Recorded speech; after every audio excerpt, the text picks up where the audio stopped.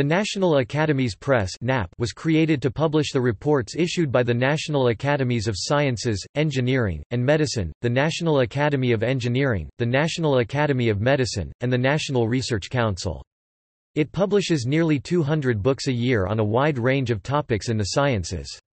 The NAP's stated mission is seemingly self-contradictory, to disseminate as widely as possible the works of the National Academies of Sciences, Engineering, and Medicine, and to be financially self-sustaining through sales.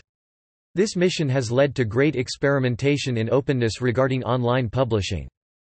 The National Academy Press as it was known in 1993 was the first self-sustaining publisher to make its material available on the web, for free, in an open access model. By 1997, 1,000 reports were available as sequential page images starting with I, then E, then E, then IV with a minimal navigational envelope. Their experience up to 1998 was already indicating that open access led to increased sales, at least with page images as the final viewable object. From 1998 on, the NAP developed the Open Book Online navigational envelope, producing stable page URLs, and enabling chapter, page, and in-book search navigation to images of the book pages which were increasingly replaced by HTML chunks, to enable the user to browse the book. Notably, this page-by-page -page navigation was produced long before Amazon's Look Inside, or Google's book search. 1998 through the present, the NAP gradually evolved the OpenBook to first enable better external findability making the HTML page for the first page image of every chapter include the first 10 and last 10 pages of OCR'd ASCII text of the chapter, to produce a robustly indexable first chapter page, as well as exploring the boundaries of knowledge discovery and exploration, implementing related titles. In 2001, the Find More Like This Chapter. In 2002, Chapter Skim in 2003, Search Builder and Reference Finder in 2004, and Active Skim and Enhanced Search Builder in 2005.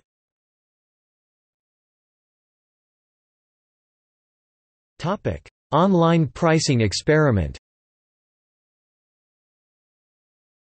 In 2003, the NAP published the results of an online experiment to determine the cannibalization effect that might obtain, if the NAP gave all reports away online, in PDF format. Developed as a Mellon-funded grant, and working with the University of Maryland Business School, the experiment interrupted buyers just before finalizing an online order, with an opportunity to acquire the work in PDF for a randomly generated discount, 50%, 10%, 100%, 70% off the list price, and if the answer was no, the NAP would offer one more step off the price. The conclusion was that 42% of the customers, when interrupted when buying a print book online, would take the free PDF of the book, meaning that 58% of the potential purchasers were willing to pay to have a printed book. Significant implications to publishing strategies are produced by these numbers, especially in the context of NAP's long tail Experience when it gave away free access to PDFs about 50% of the list to low sales content, which resulted in only 33% loss of sales, over 18 months while enabling 100 times the dissemination.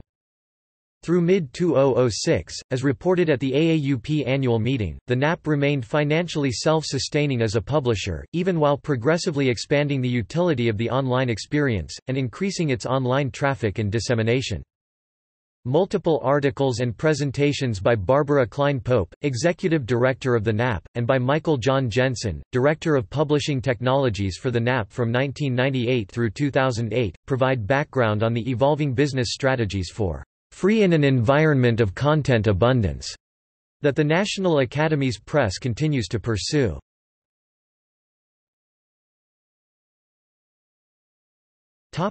Free PDFs